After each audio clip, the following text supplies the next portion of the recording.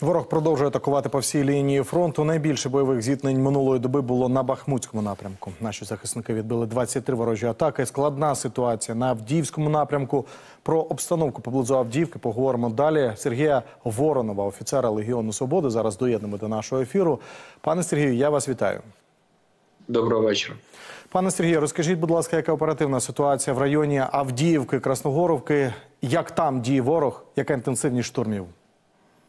Ну, власне, після того як ворог е, фактично зруйнував Авдіївку, він не зупинився і дійсно продовжив е, свій похід е, на інші мирні українські міста та села.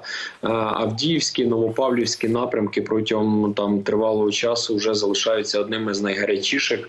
І е, найгарячіші точки, якраз на мапі сьогодні, це Первомайське, яке ворог беззупинно так само фактично зруйнував е, Невельське. Е, це Красногорівка, яку атакують з півдня Новомихайлівка, яку так само не дають спокою. Ну і фактично ворог намагається розвивати напрямок з Мар'їнського е, такого плацдарму в бік Курахово через Георгіївку.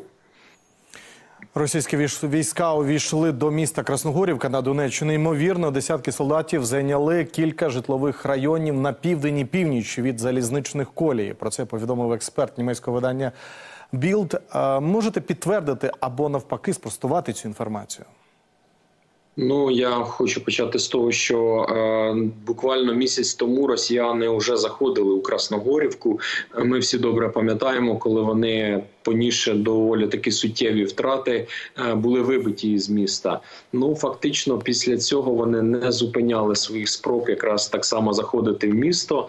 От е, з приводу там думки експерта, я її так само чув, читав. Можу сказати, що мова не йде про якісь там захоплені мікрорайони. Мова навіть не йде про якісь там вулиці. Скоріше мова йде там про два-три будинки, де сьогодні е, так скажу, спробую сказати, наші хлопці сьогодні утилізовують ворога для того, щоб він е, можливо полишив в майбутньому свої наміри сюди далі йти.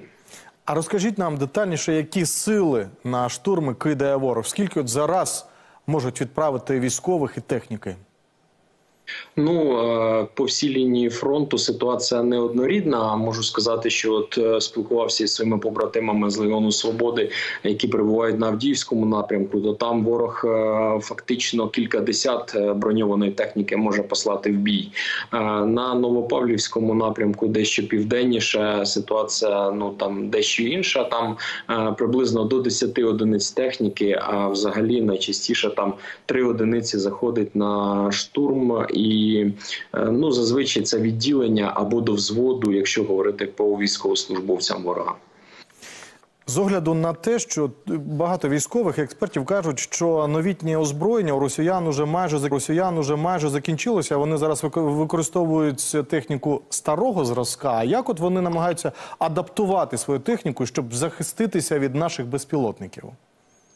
Ну я вам скажу, що дуже широко в інтернеті розлетілася фотографія. Там е, називали то казанок, то черепашка е, от е, російського, так би мовити, модернізованого танка.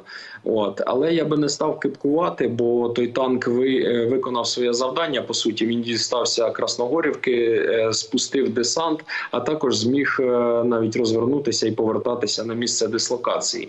Сьогодні наші хлопці так само активно застосовують різні методи для того, щоб уберегти е, наявну техніку від ворожих дронів. І тому, от е, я вам скажу, якщо от навіть такі чудернацькі моменти, чудернацька модернізація, вона працює, е, вона буде надалі використовуватися як ворогом, так можливо, навіть нашими силами. А їхня тактика взагалі міняється, і якщо так, то від чого вона залежить? Ну, їхня тактика фактично постійно стабільна. Це руйнація міст та сіл. Вони ж е, не захоплюють там ті чи інші населені пункти. Вони їх фактично вщент знищують. І коли вже е, немає за що чіплятися, нема що обороняти. Е, ну дійсно без всякого пафосу наші хлопці можуть відходити навіть на якісь більш вигідні рубежі, на якісь висоти для того, щоб от була змога там краще ураження супротивника. От тому їхня тактика тактика залежить в тому числі від різних там як погодних умов, природних ландшафтів. А взагалі, як освітянин, хочу сказати, що війна то найкращий вчитель. От і хто на війні навчається, той виживає. Тому ворог постійно так само навчається, навчаємось ми і постійно адаптуємося до нових реалій, які є на полі бою. На вашу думку, з огляду на ситуацію біля Красногорівки, чи можемо ми говорити про те, що цей населений пункт наступна ціль окупантів? Ну, вочевидь, оскільки це вже не перша спроба проникнути якраз в саме місто. І я думаю, що про Красногорівку, часів яр, саме про ці населені пункти ми будемо чути там наступний період от е, нашої боротьби з ворогом. Ну і власне Кирило Буданов перед цим казав, що стратегічне одна із стратегічних цілей ворога є Покровськ. Я думаю, що будемо е, так само слідкувати за цим напрямком, оскільки ворог, е, я думаю, що буде е, після Первомайського так само йти на захід е, і руйнувати наші населені пункти. А щодо активності ворожої авіації, яка взагалі ситуація з авіаударами на цій ділянці? Скільки, наприклад, за добу ворог може нанести ударів кабами? Ну, коли мова йшла про Красногорі, е, про Авдіївку, там було фактично цілодобове бомбардування, і там їх було дуже багато.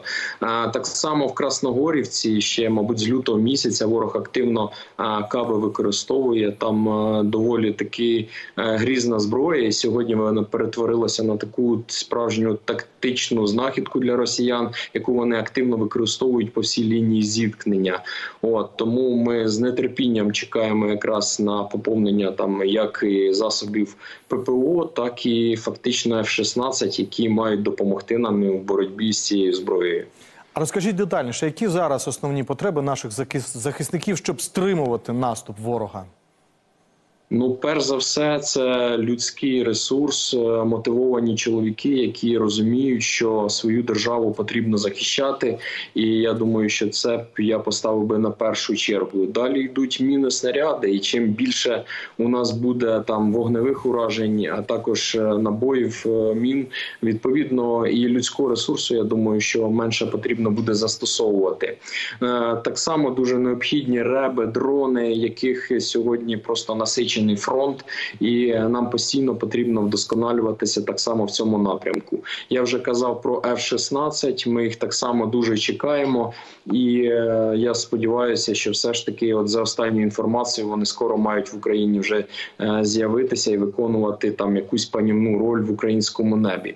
Ну і звісно, найголовніше, що я хотів би сказати, це тотальна підтримка тилу, тому що сьогодні наша держава переживає один з драматичніших таких етапів свого існування, і тому кожен має усвідомити, е, що нашу державу потрібно обороняти, захищати будь-якими методами і об'єднавшись в одне ціле.